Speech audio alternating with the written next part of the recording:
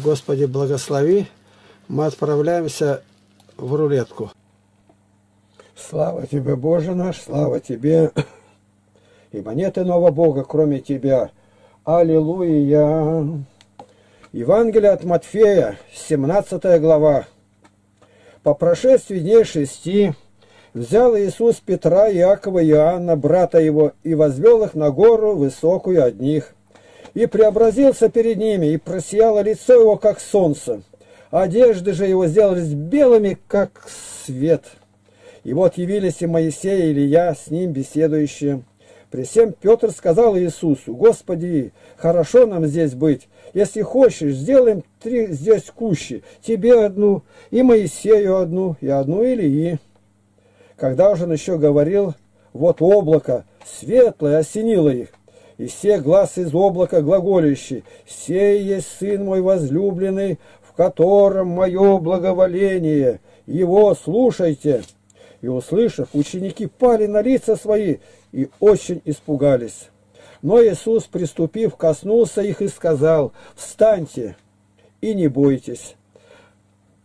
Возведя же очи свои, они никого не увидели, кроме одного Иисуса. И когда сходили они с горы, Иисус запретил им, говоря, «Никому не сказывайте о всем видении, доколе Сын Человеческий не воскреснет из мертвых».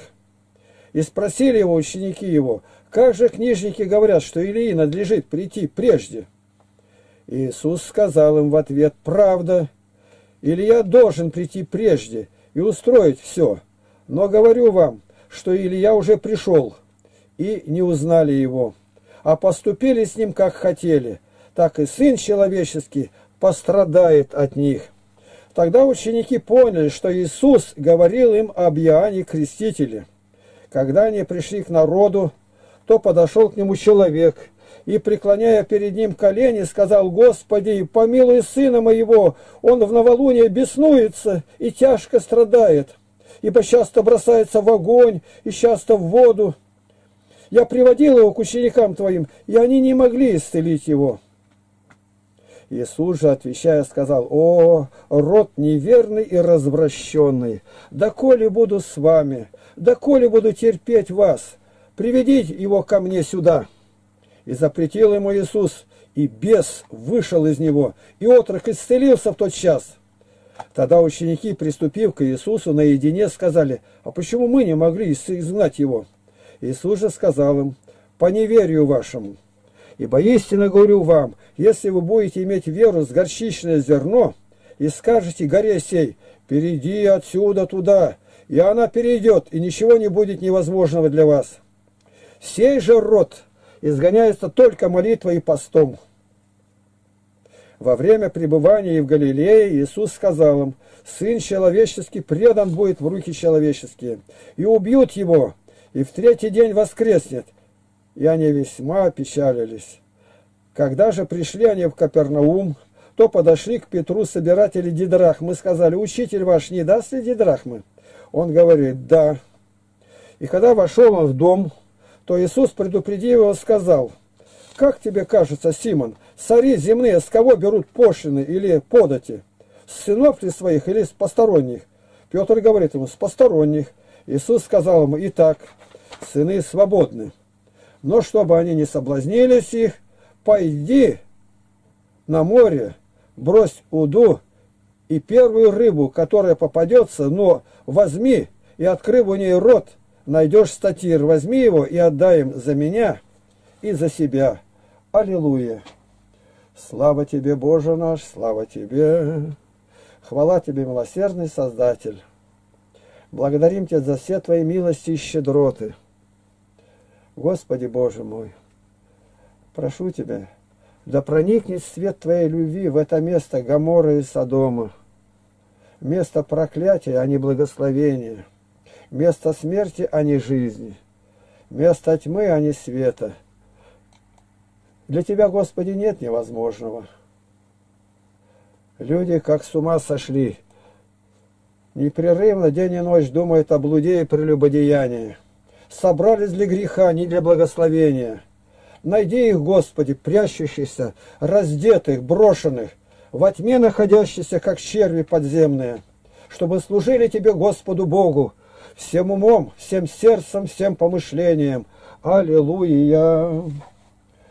Евангелие от Матфея, глава 18. В то время ученики приступили к Иисусу и сказали, кто больше в Царстве Небесном? Иисус, призвав дитя, поставил его посреди них и сказал, «Истинно говорю вам, если не обратитесь и не будете как дети, не войдете в Царство Небесное. Итак, кто умолится, как это дитя, тот и больше в Царстве Небесном. И кто примет одно такое дитя во имя Мое, тот меня принимает.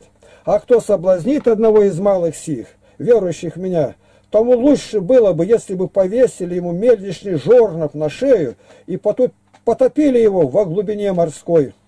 Горе миру от соблазнов, ибо надобно прийти соблазном, но горе тому человеку, через которого соблазн приходит. Если же рука твоя или нога твоя соблазняет тебя, отсеки их, бросят себя. Лучше тебе войти в жизнь без руки или без ноги, нежели с двумя руками и с двумя ногами быть вверженным в огонь вечный. Если глаз твой соблазняет тебя, вырви его и брось от себя.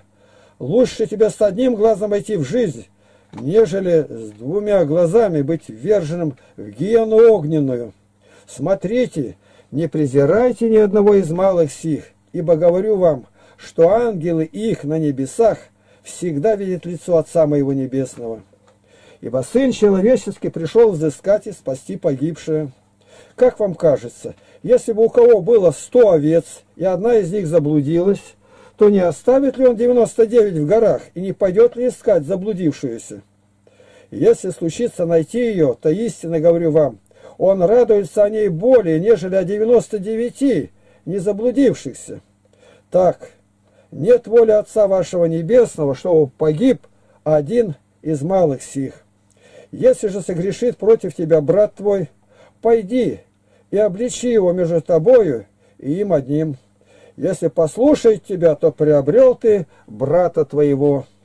Если же не послушает, возьми с собой еще одного или двух, дабы устами двух или трех свидетелей подтвердилось всякое слово. Если же не послушает их, скажи церкви. А если и церкви не послушает, то да будет он тебе, как язычник и мытарь. Истинно говорю вам, что вы свяжете на земле, то будет связано на небе а что разрешите на земле, то будет разрешено на небе. Истинно также говорю вам, что если двое из вас согласятся на земле просить о всяком деле, то, чего бы ни попросили, будет им от Отца Моего Небесного. Ибо где двое или трое собраны во имя Мое, там я посреди их. Тогда Петр приступил к нему и сказал, «Господи, Сколько раз прощать брату моему, согрешающему против меня? До семи ли раз? Иисус говорит ему, не говорю тебе до семи, но до седьмижды семидесяти раз. Посему Царство Небесное подобное царю, который захотел сосчитаться с рабами своими. Когда начал он считаться, приведен был к нему некто, который должен был ему десять тысяч талантов – а как он не имел чем заплатить, то государь его приказал продать его, и жену его, и детей, и все, что он имеет, и заплатить. Тогда раб тот пал, и, кланяясь ему, говорил, «Государь, потерпи на мне, и все тебе заплачу». Государь, умилосердившись над рабом тем, отпустил его, и долг простил ему. Раб же тот, выйдя, нашел одного из товарищей своих, который должен был ему сто динариев, и, схватив его, душил, говоря, «Отдай мне, что должен». Тогда товарищ упал к ногам его, умолял его и говорил, «Потерпи на мне, и все отдам тебе». Но тот не захотел, и пошел, и посадил его в темницу, пока не отдаст долга. Товарищи его, видя происшедшее, очень огорчились. И, придя, рассказали государю своему все бывшее. Тогда государь его, призывает его и говорит, злой раб, весь долг тот я простил тебе, потому что ты упросил меня. Не надлежало ли тебе помиловать товарища твоего, как и я помиловал тебя? И, разгневавшись, государь его отдал его истязателям, пока не отдаст ему всего долга. Так и Отец мой Небесный поступит с вами, если не простит каждый из вас от сердца своего брату своему согрешений его. Аллилуйя! Слава тебе за евангельские строки, за великие истины, данные Духом Святым через учеников Его и написанные в Евангелии. Боже, хвала Тебе! Ты позволил нам, Ты повелел нам прийти в это место тьмы и мрака, где собираются люди большим, великим скопищем для блуда, для прелюбодеяния, для скверны, для соблазна, сребролюбия и воровства. Помилуй нас, Господи! Пошли добрых благовестников, миссионеров, христианам, язычникам, иудеям, мусульманам и буддистам, и всем возвести о любви Твоей. Ибо так возлюбил Бог мир, что отдал Сына Своего Единородного, дабы всякий верующий в Него не погиб, но имел жизнь вечную. Ибо не послал Бог Сына Своего Иисуса Христа в этот мир, чтобы судить мир, но чтобы мир спасен был через Него. Аллилуйя! Всякий делающий добро идет к свету, дабы явны были дела его, ибо они в Боге соделаны. А делающий злое не идет к свету.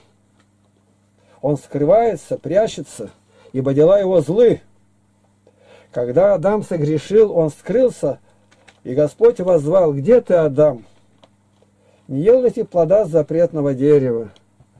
Господи Боже наш, слава Тебе! Прости нас, Владыка, помилуй и благослови. Милости Твоя ради, обрати на нас лик Твой, Господи, и это место греха, порока, прелюбодеяния блуда освети Духом Твоим святым, чтобы люди избрали жизнь, а не смерть, свет, а не тьму, благословение, а не проклятие. Аллилуйя! Богу нашему слава! Во веки веков. Аминь. Просим, приходите, подписывайтесь, э, будете регулярно получать с нашего канала. Если вам понравилось наше видео, одобряйте, ставьте лайк, а также поделитесь с друзьями о просмотренном в соцсетях ВКонтакте, Фейсбуке, Твиттере, Одноклассниках. Добавляйте в плейлист. Подписывайтесь на наш канал Нажимайте на колокольчик, это даст вам возможность узнавать о новых видео, которые обязательно будут выходить на нашем канале. А также смотрите другие наши видеоролики в нашем богатом видеоархиве. Помоги вам Христос. С Богом!